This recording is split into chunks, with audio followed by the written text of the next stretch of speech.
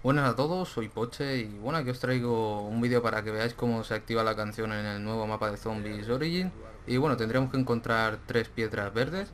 La primera de todas está aquí en la sala del principio. Le damos y la activamos. La siguiente está en una sala que hay un poquito más adelante.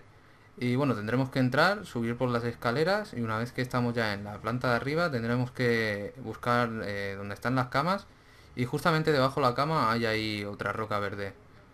Y la tercera y última roca estará en la zona del pack punch tendremos que venir por aquí por donde las pasarelas de madera y bueno, seguimos el camino y ahí ya está la última roca, así que le damos y ya activamos la canción. Y nada más, espero que os haya gustado el vídeo y hasta la próxima.